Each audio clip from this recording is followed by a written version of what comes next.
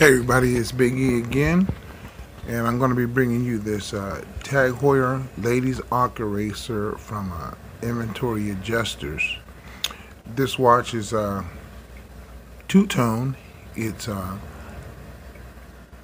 pearl dial with uh, diamonds all the way around. That's the model number up on the left-hand side if you're interested.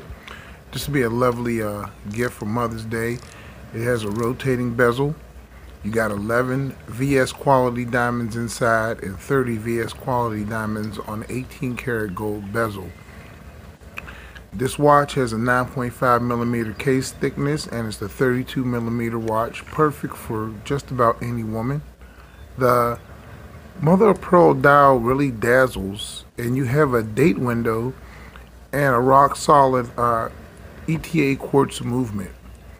You have a milk clasp fold over class deployment buckle for security and it's also signed. So you get a lot of quality in this watch and it closes with this nick and then you get many anchoring points. You have a beautiful two-tone bracelet which is 18 karat gold and stainless steel. You have a solid stainless steel case back which is uh, has a diver's uh, old school diving bell logo in the middle.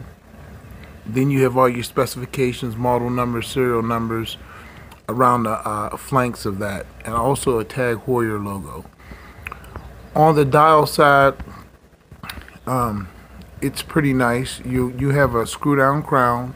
You have 300 uh, meters of water resistance, and you have an applied logo and applied diamond markers, and you have pretty decent lume. So check out this watch in Inventory Adjusters. You'll you'll probably really like it if you're a woman. This is what a woman's watch should be like. This watch has really graceful lines and it's really tasteful and it's here just in time for Mother's Day.